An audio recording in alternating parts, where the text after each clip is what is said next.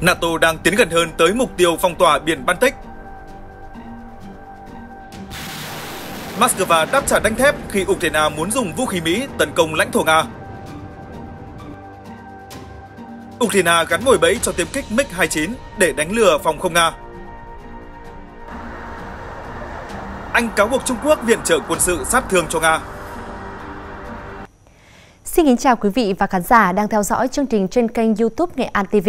Những thông tin mới nhất vừa được chúng tôi cập nhật sẽ được gửi tới quý vị khán giả ngay sau đây. Kính mời quý vị cùng theo dõi.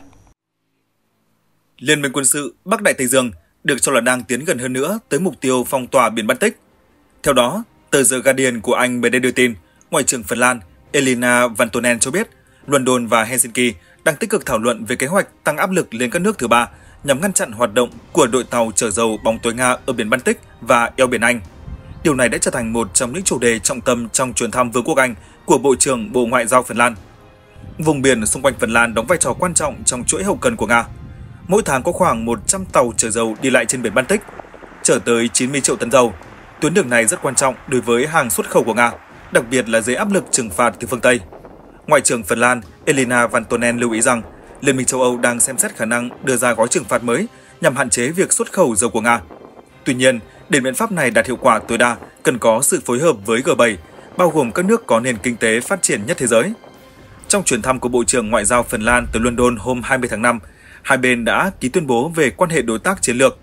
Văn bản đặc biệt chú ý đến vấn đề gây áp lực lên Trung Quốc và các nước khác để họ không cung cấp hỗ trợ vật chất hoặc hỗ trợ khác cho Nga. Việc ký kết tuyên bố này thể hiện quyết tâm của London và Helsinki trong việc tăng cường cô lập kinh tế với Moscow. Điều đáng chú ý là Phần Lan đã trở thành thành viên chính thức của NATO vào năm ngoái. Điều này đã làm thay đổi đáng kể tình hình địa chính trị trong khu vực. Hợp tác với Anh và những nước NATO khác cho phép Phần Lan tham gia tích cực hơn vào việc phát triển và thực hiện các biện pháp trừng phạt. Tuy nhiên, câu hỏi vẫn là Phần Lan và Anh dự định ngăn chặn hoạt động của đội tàu chở dầu Nga chính xác như thế nào?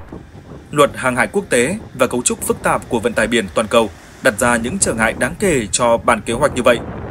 Kế hoạch của London và Helsinki còn bao gồm việc gây sức ép để các nước thứ ba tham gia lệnh trừng phạt hoặc ít nhất là không hợp tác với Nga. Dù vậy, theo giới quan sát, đây không phải là một nhiệm vụ dễ dàng. Trung Quốc, Ấn Độ và nhiều quốc gia tiếp tục hợp tác với Moscow khi nhận thấy lợi ích kinh tế và chính trị của họ trong việc này. Ngày 22 tháng 5, bình luận về những tuyên bố của các chính trị gia và nhà lập pháp Mỹ kêu gọi tạo cơ hội cho chính quyền Ukraine sử dụng vũ khí của Mỹ để tấn công các cơ sở quân sự và năng lượng nằm sâu trong lãnh thổ Nga. Đại sứ Nga tại Mỹ Anatoly Antonov cảnh báo Ukraine đang thực hiện các hành động khiêu khích nhằm lôi kéo Mỹ và các thành viên NATO khác vào cuộc xung đột trực diện với Moscow. Đại sứ Antonov nói, những tuyên bố khiêu khích như vậy vô cùng nguy hiểm và liều lĩnh những lời kêu gọi của những người bài Nga đồng nghĩa với việc Mỹ tham gia sâu hơn vào cuộc xung đột ở Ukraine, theo phe của chính quyền Tổng thống Ukraine Volodymyr Zelensky. Đại sứ Antonov cho biết thêm, mức độ phản ứng cuồng loạn trước những thành công của chúng tôi ở chiến trường đang tăng lên theo cấp số nhân ở Washington, không phải theo từng ngày mà theo từng giờ. Các chính trị gia và nhà lập pháp Mỹ tiếp tục thử thách sự kiên nhẫn của chúng tôi. Mỗi ngày chúng tôi đều nghe thấy những đề xuất mới để mở rộng hỗ trợ quân sự cho chính quyền Kiev. Trong một tuyên bố đăng trên kênh Telegram của Đại sứ quán Nga, ông Antonov nói, rõ ràng Kiev muốn làm tất cả những gì có thể để kích động Mỹ, cũng như các nước NATO khác hành động vội vàng và dẫn đến một cuộc xung đột trực diện giữa Nga và các thành viên trong khối. Theo quan điểm của ông, đây là cách Ukraine xem xét ý tưởng sử dụng hệ thống tầm xa của Mỹ chống lại dân thường Nga. Ông Antonov cáo buộc, tôi xin nhấn mạnh rằng chính quyền Kiev từ lâu đã ngừng xin phép các nước phương Tây để tiến hành cuộc chiến chống lại các mục tiêu dân sự trên lãnh thổ Nga. Các cuộc đột kích sử dụng các vũ khí nguy hiểm của Tổ hợp Công nghiệp Quân sự NATO đang diễn ra trên khắp đất nước chúng tôi gần như thường xuyên. Cùng ngày 22 tháng 5, Ngoại trưởng Mỹ Antony Blinken nói với Ủy ban Đối ngoại Hạ viện rằng Washington sẵn sàng thảo luận với Kiev về khả năng sử dụng vũ khí Mỹ để tấn công các mục tiêu nằm sâu trong lãnh thổ Nga. Trong chuyến thăm Kiev tuần trước, ông Blinken cho biết Washington không khuyến khích hoặc cho phép các cuộc tấn công bên ngoài lãnh thổ Ukraine, nhưng cuối cùng Ukraine phải tự đưa ra quyết định về cách thức tiến hành cuộc chiến này. Trong khi đó, Chủ tịch Hội đồng Tham mưu trưởng Liên quân Mỹ, tướng Charles Brown cho biết các chỉ huy quân đội Mỹ sẽ thảo luận về các lệnh hạn chế sử dụng vũ khí Mỹ để tấn công vào lãnh thổ Nga. Ngoài ra ông Brown cho hay Ukraine có khả năng tấn công vào lãnh thổ Nga bằng những vũ khí không phải do Mỹ cung cấp. Trước đó hôm 21 tháng 5, Politico trích dẫn bức thư của các nghị sĩ lưỡng đảng tại Hạ viện Mỹ đề nghị chính quyền Tổng thống Joe Biden cho phép Ukraine tấn công lãnh thổ Nga bằng vũ khí của Mỹ. Bức thư kêu gọi Bộ trưởng Bộ Quốc phòng Mỹ Lloyd Austin cho phép sử dụng vũ khí do Mỹ cung cấp để tấn công các mục tiêu chiến lược trên lãnh thổ Nga trong một số trường hợp nhất định. Bình luận về thông tin này, người phát ngôn điện Kremlin Dmitry Peskov cáo buộc những cái đầu nóng trong Quốc hội Mỹ dường như muốn kích động thêm căng thẳng xung quanh Ukraine và muốn đối đầu với Nga tới người Ukraine cuối cùng. Từ lâu, Ukraine đã lập luận rằng khả năng tấn công các mục tiêu quân sự hợp pháp trong lãnh thổ Nga đóng vai trò rất quan trọng để bảo vệ Ukraine. Vì vướng lệnh cấm của Mỹ, Ukraine đã sử dụng chính vũ khí của nước này để tấn công các mục tiêu bên trong lãnh thổ Nga, bao gồm máy bay không người lái giá rẻ, tập kích các mục tiêu của Nga như nhà máy lọc dầu. Các thành phố biên giới của Nga liên tục trở thành mục tiêu của các đợt tập kích do Ukraine tiến hành. Ukraine đã trang bị cho chiến đấu cơ MiG-29 mỗi bẫy ADM-160 MALD, loại khí tài chuyên đánh lừa phòng không Nga trong các cuộc tập kích. Cụ thể, ngày 21 tháng 5, tài khoản Ukrainian Front có hơn 220.000 người theo dõi trên mạng xã hội X đã đăng tải tiêm kích MiG-29 của Lữ đoàn Hàng không chiến thuật số 114 Ukraine, đang thực hiện kỹ thuật bay qua đường băng ở độ cao thấp. Hình ảnh cho thấy dưới mỗi cánh của tiêm kích có gắn một hệ thống mồi nhử, phóng từ trên không thu nhỏ MALD ADM-160.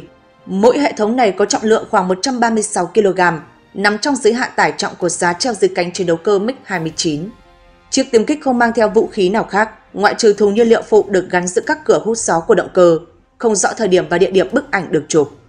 Đây là lần đầu tiên xuất hiện thông tin MiG-29 Ukraine gắn mồi bẫy ADM-160, loại khí tài được phóng cùng tên lửa thật trong các cuộc không kích để đánh lừa phòng không đối phương.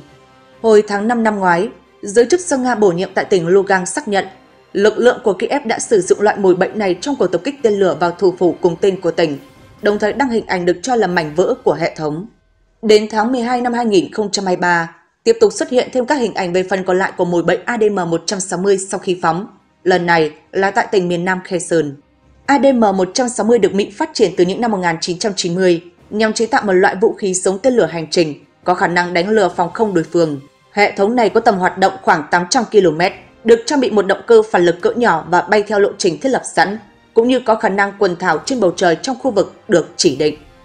ADM-160 phát ra tín hiệu radar lớn hơn quả tên lửa mà nó bay cùng, qua đó có thể đánh lạc hướng và làm bối rối mạng lưới phòng không kẻ thù, tạo điều kiện để các tên lửa thật có thể tiếp cận mục tiêu. Trong trường hợp của Ukraine, ADM-160 chủ yếu được Kiev sử dụng để yểm trợ các cuộc tập kích bằng tên lửa hành trình phóng tử trên không, như dòng xe tôsa đầu xe cắp eg do Anh, Pháp chuyển giao. Chuyên gia quân sự Thomas Newdick của Quotron nhận định, xe tôsa đầu xe cắp eg có đặc tính tàng hình, làm giảm đáng kể khả năng phát hiện của radar đối phương. Việc phóng loại tên lửa này của mối bệnh ADM-160 sẽ giúp gia tăng tỷ lệ tập kích thành công. Theo chuyên gia Newdick, việc tích hợp mẫu mũi bệnh ADM-160 của Mỹ vào tiêm kích MiG-29 thời Liên Xô không phải là điều khó, do lực lượng vận hành có thể nạp dữ liệu mục tiêu vào hệ thống này trước khi phóng. Vị chuyên gia này cho rằng Ukraine còn có thể trang bị mồi bệnh ADM-160 cho một số mẫu chiến đấu cơ khác, trong biên chế như Su-24 và Su-27. Ukraine được cho là đang cần áp dụng thêm các biện pháp bảo vệ bổ sung cho tên lửa hành trình Storm Shadow, Skap EG. Trong bối cảnh lực lượng Nga đã nhiều lần hạ quả đạn này trong thời gian qua, gần đây là hôm 20 tháng 5, theo video chia sẻ trên mạng xã hội.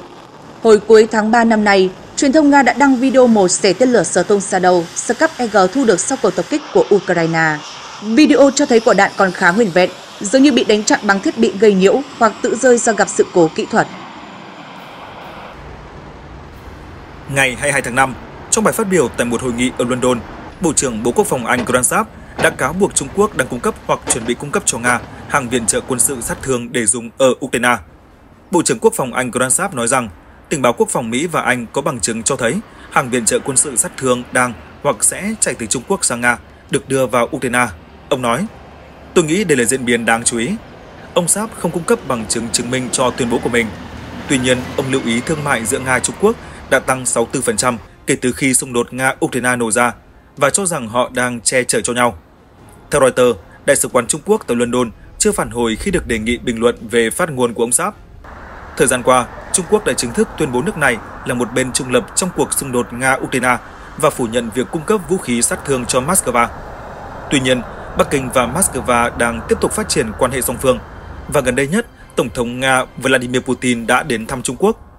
Hồi tháng 2 năm nay, bên lề hội nghị an ninh Munich ở Đức, Ngoại trưởng Trung Quốc Vương Nghị khẳng định với người đồng cấp Ukraine Dmytro Kuleba rằng Bắc Kinh không lợi dụng cơ hội và không bán vũ khí sát thương cho các khu vực xung đột hoặc các bên tham gia xung đột. Trước đây, giới chức Mỹ đã cảnh báo Trung Quốc không cung cấp hàng viện trợ quân sự sát thương cho Nga và kêu gọi Bắc Kinh sử dụng ảnh hưởng của mình với Moscow để giúp chấm dứt xung đột Nga-Ukraine.